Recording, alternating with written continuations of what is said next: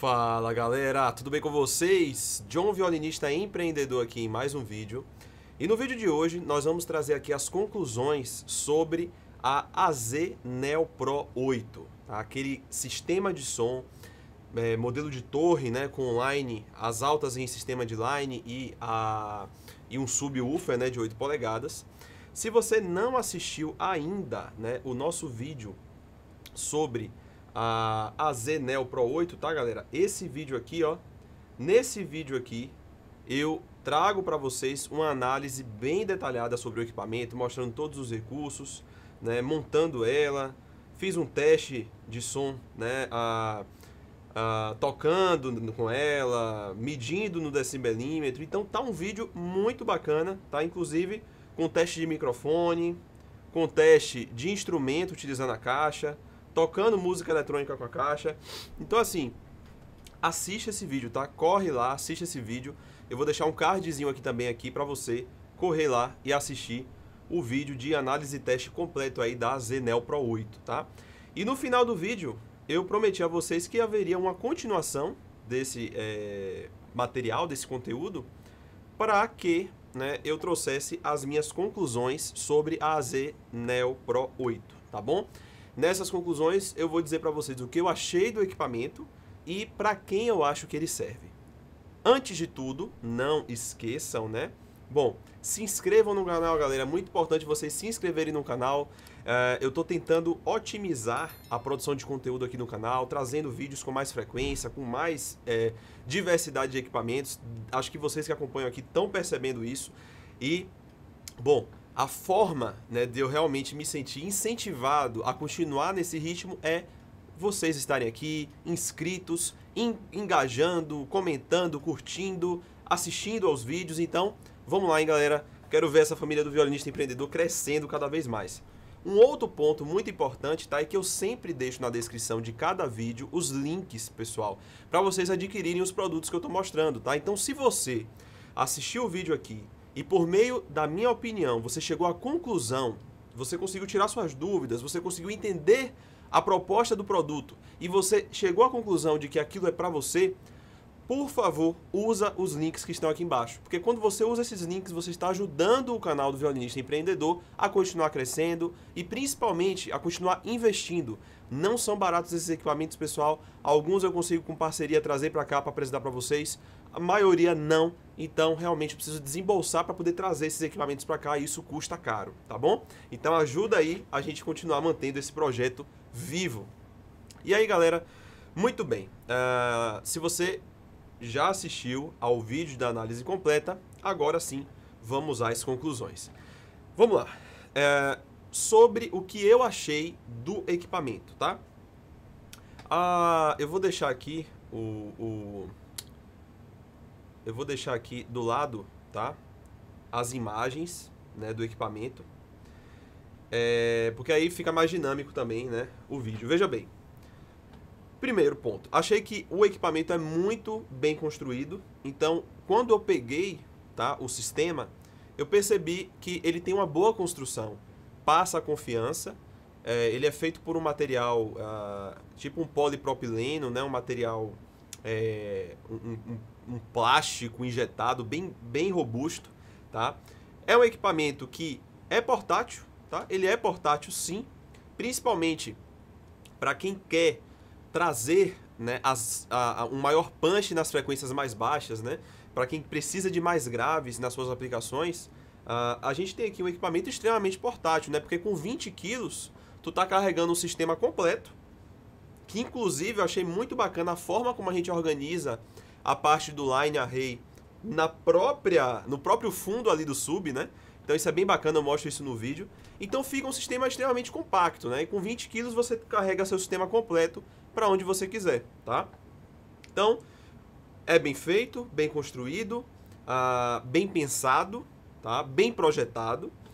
Uh, outra coisa que eu achei bem interessante nesse equipamento, pessoal, é a questão dos recursos, né? On-board que a gente fala, né? Então, é uma caixa que você já tem ali alguns canais que você já pode utilizar diretamente. Então, por exemplo, né? Aí eu já vou respondendo de para quem serve. Por exemplo, se você vai fazer uma cerimônia de casamento, né? ou uma palestra, por exemplo, né? uma, uma, algum momento ali que um palestrante, que um orador vai precisar falar para um determinado público, é, incluindo aí as cerimônias de casamento, por exemplo. Poxa, um sistema desse aqui fica excelente, pessoal, tá? Ele tem uma, um nível de pressão sonora interessante, né? muito razoável para um sistema desse tamanho, é, alcançando ali até 115 dB SPL, tá? Uh, a, tendo ali todo o range de frequências necessário coberto, né? Quando a gente junta o sub com a parte de alta. Então, assim, vai funcionar super bem aí, tá? É, vamos lá.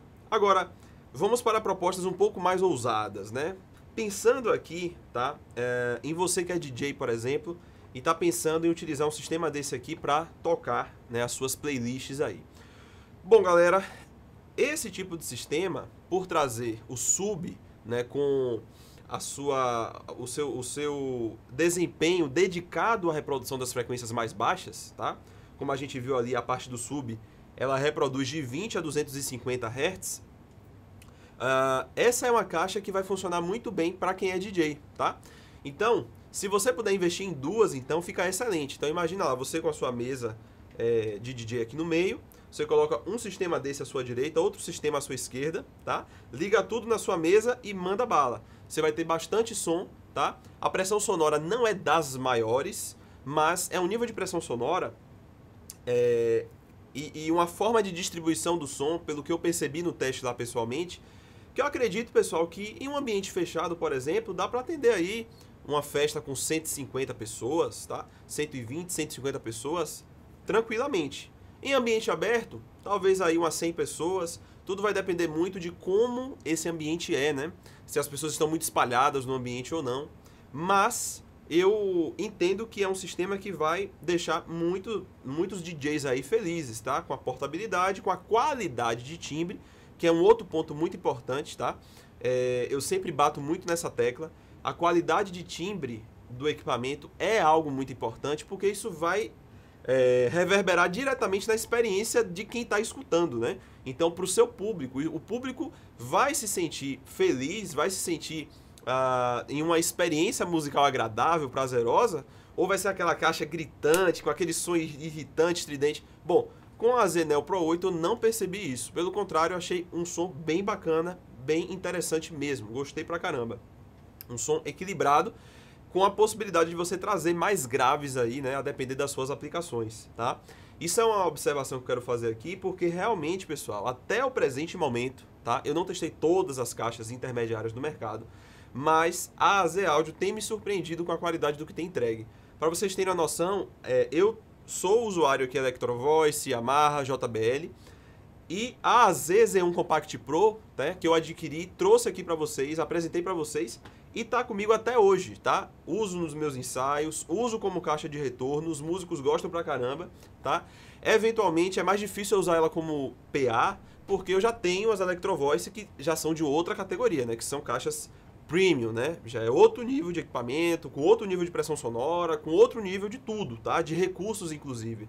Mas em relação a timbre, galera, essa caixa me atende super bem. E com a Zenel Pro 8, eu também fiquei mais uma vez feliz com o resultado em termos de construção, recursos e timbre que a caixa tem dentro do custo e benefício, galera. Isso é muito importante, tá? Pelo amor de Deus. A gente não pode pegar uma caixa dessa, né, que você vai estar tá investindo aqui algo em torno, ó, ó lá o anúncio, ó, R$ 3.500 em 12 vezes lá no site da Koala Music, tá? A gente vai colocar aqui um, um um fretezinho né, de 300 conto aqui, então vamos dizer que a caixa vai ficar na, em torno aí de menos de 4 mil reais. Aí tu vai investir menos de 4 mil reais e quer comparar com uma Electro Voice Evolve 30M ou uma Evolve 50M. Não dá, né, galera? São categorias diferentes. Sempre nas análises você tem que pensar nisso, tá? Eu não posso querer investir 4 mil em um equipamento e achar que eu vou ter o retorno de um equipamento de 15, 20 mil reais. Não faz sentido. Isso eu quero deixar bem claro para vocês. Inclusive, esses sistemas de altíssimo desempenho aí, né, as Electro Voice, os sistemas JBL, sistema Bose, são muito mais caros, mas também eles entregam muito mais recursos e uma qualidade, né, tipo assim, absurda, tá? Até porque você está pagando muito caro nesses equipamentos. Eles são de linha Premium. Eu acho que isso já ficou claro aqui no canal, eu sempre trago essa reflexão para vocês. Agora, você não pode investir 15, 18, 20 mil reais em um sistema, mas você está precisando, você está procurando algo no meio termo, algo intermediário, que você não gaste uma fortuna, mas que você tenha um resultado a contento, que você tenha um resultado satisfatório. Às vezes, é, com a grana que você pagaria um sistema top de linha mais simples, você consegue comprar dois ou mais, né? Você consegue multiplicar por três, por exemplo, sistemas mais básicos intermediários, mas com um resultado que é satisfatório, um resultado que é agradável, que realmente vai te entregar um resultado bom para o seu público, para o seu cliente, percebe? Então, é, é dentro dessa categoria aqui que a AZ, com esse equipamento, a Neo Pro 8, vai te trazer, tá? Você está precisando de um equipamento intermediário que você invista um valor e tenha um retorno muito maior do que o valor que você está investindo, é isso aqui, certo? Qualidade de construção, recursos, qualidade de timbre, tudo estaria até um pouco acima do preço que está sendo cobrado no equipamento. Então estou sendo bem honesto, bem sincero aqui com vocês. E trazendo essa reflexão para que você não caia na esparrela né, de querer comparar um equipamento intermediário com um equipamento top, tá, gente? Equipamento top de linha, a gente compara top com top, tá? Equipamento intermediário é intermediário com intermediário. Não faz sentido essas comparações cruzadas, até porque é injusto, tá? Não tem justiça nenhuma nisso.